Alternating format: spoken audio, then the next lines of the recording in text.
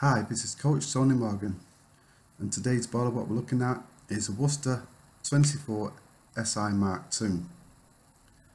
This video is about changing the PCB. Now there's two types of PCBs which I'll show you once the case is removed.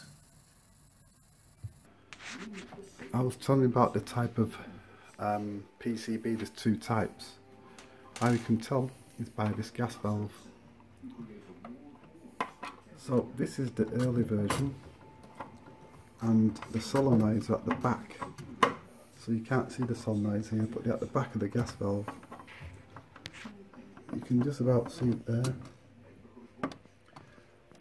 So if it's like this setup then you're going to use the part number which is here.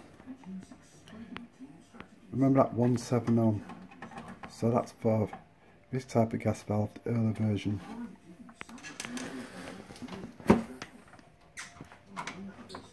If the gas valve has got the solenoids pointing to the front, so you can see all the solenoids on the front, then it's going to be the later version.